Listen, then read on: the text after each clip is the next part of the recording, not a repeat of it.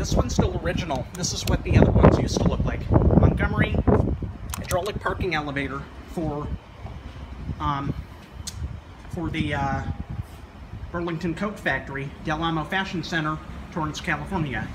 1984 Montgomery. Original. Awesome. Bet you guys didn't even know this one existed. 1984. Numbers awesome. Right, we're gonna film Sears next. And then Cranky Barrel. We're at three. Let's see the whole station here. Ooh, ooh, ooh. Um, what was that? Open? There we go. Okay, that was cute. Whole station. All right. G. Phone. EDA Apple phone. That was wonderful, epic fail caught on camera. Nice. Little bleak and depressing in here.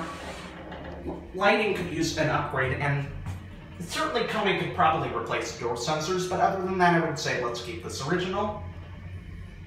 No need to slap-on fixtures. Hero down at G. And watch your button go out. Got your EPCO, circle line, 8 fixtures. Completely original Montgomery from 1984. There's your Montgomery interlock. Awesome. Um, nice. There it goes. Machine room's behind the back. Let's go film the Sears now, and that's it.